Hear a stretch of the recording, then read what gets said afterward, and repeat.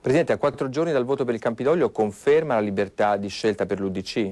È una scelta obbligata per non tradire più di due milioni di elettori che ci hanno sostenuto e che hanno saputo da noi di un'alternatività a Berlusconi e di un'alternatività a Veltroni che ha amministrato Roma fino a ieri. Voteremo secondo coscienza, così faranno i nostri elettori senza indicazione da parte del partito. Che opposizione farà allora nel nuovo Parlamento?